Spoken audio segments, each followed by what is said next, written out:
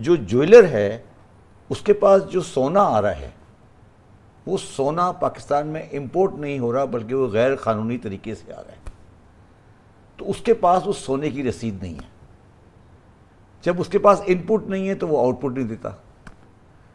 तो अगर आउटपुट आपसे पंद्रह परसेंट उसे लेते हैं तो वो कहता है, मेरे पास तो परचेज की रसीद ही नहीं है।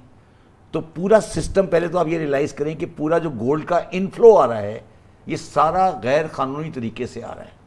तो पाकिस्तान में जितना भी सोना बिक रहा है, उनमें से वो सोना जो आप जेवर को तुड़वा के बनाते हैं, जो नया सोना आ रहा है पाकिस्तान मार्केट में, वो 99.99 परसेंट स्मगल या गैर कानूनी तरीके से आ रहा है। पहले तो आप ये रियलाइज़ कर लें। इसलिए अगर 15 परसेंट सेंटेक्स लगाया जाएगा तो ज्वेलर नहीं देगा, क्योंकि वो इनपुट नहीं मिल रहा उसको। इसलिए उन्होंने तीन परसेंट लगाया।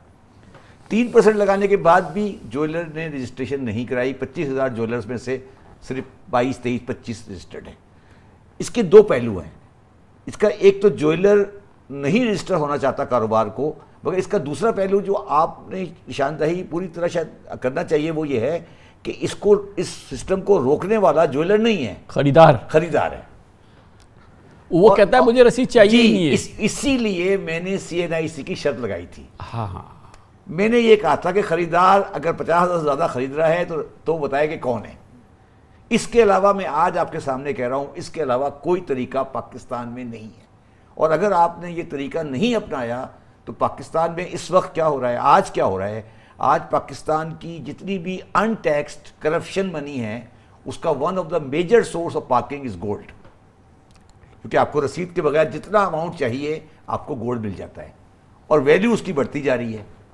तो आपका पैसा सेव हो जाता है बेसिकली डिक्लेयर मगर नहीं कर सकते आप। डिक्लेयर नहीं करते मगर अगर पैसा तो आपका आप, आपको आपको रिटर्न तो मिल गया ना जी? तो ये। देखिए आप ये नोट करें कि जिस जिस वैल्यू से डॉलर बढ़ रहा है उसी वैल्यू से गोल्ड बढ़ रहा है।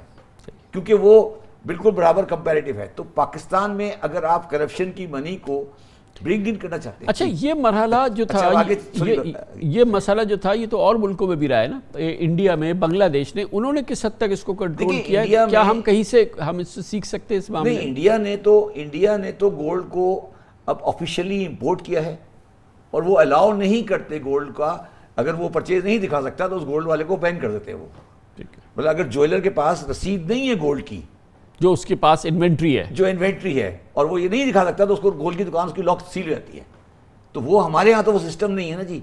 तो हम तो ये जो गोल्ड का कारोबार है प्रेशर स्टोन और गोल्ड का जो कारोबार है, ये ब्लैक मनी और अनडॉक्यूमेंटेड मनी का सबसे बड़ा ज़रिया है दुनिया में।